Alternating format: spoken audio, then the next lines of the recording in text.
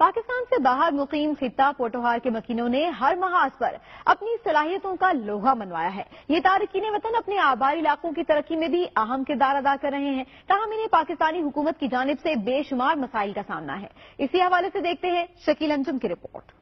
तहसील गुजर खान को खिता पठवार का दिल माना जाता है। दुनिया भर में खिता पठवार के बसने वाले तारकिन वतन ने हर मुश्किल वक्त में अपने हम वतनों को हमेशा याद रखा, जिससे सैकड़ों लोगों को रोज़गार और सरमायाकारी के मौके मिले, जिससे लोगों का म्यार ज़िंदगी बेहतर हुआ। ऐसी ही एक मिसाल रावलपिंडी से लाहौर के दरमियान जीटी रोड गुजर खान शहर में अंडरपास की तामीर है, जिसको राजा बिशारत अंडको ने तामीर कराया, जिसकी वजह से अलियान गुजर खान को शॉपिंग समेत दीगर फवायद हासिल हो रहे हैं। पिंडी से लेकर जेलम तक ऐसा कोई अंडर पास अभी तक नहीं वजूद में आया।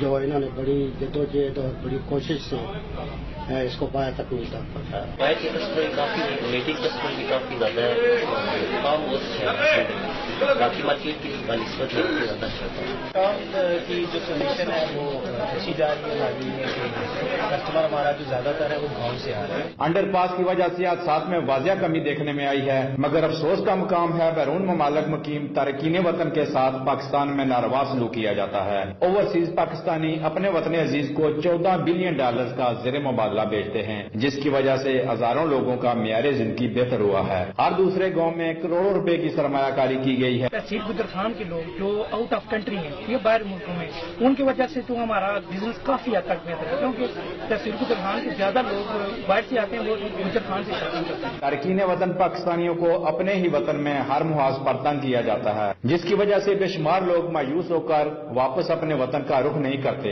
हुकूमतों को चाहिए कि तारकिन वतन पाकिस्तानियों को ज़्यादा से ज़्यादा सहूलियात मुहैया की जाएँ। खिता पटवार के बादशाहों ने अपनी मेहनत और अलियत के बलबूते पर नुमाया कामयाबियाँ हासिल की हैं। हुकूमतों को चाहिए कि इनको वतन में ज़्यादा से ज़्यादा सहूलियात मुहैया की जाएँ, ताकि वतनी अज़ीज़ में सरमाकारी का रुझान बढ़ सके। शकील अंजम राजपूत, दुनिया न्यूज़ गुजर खान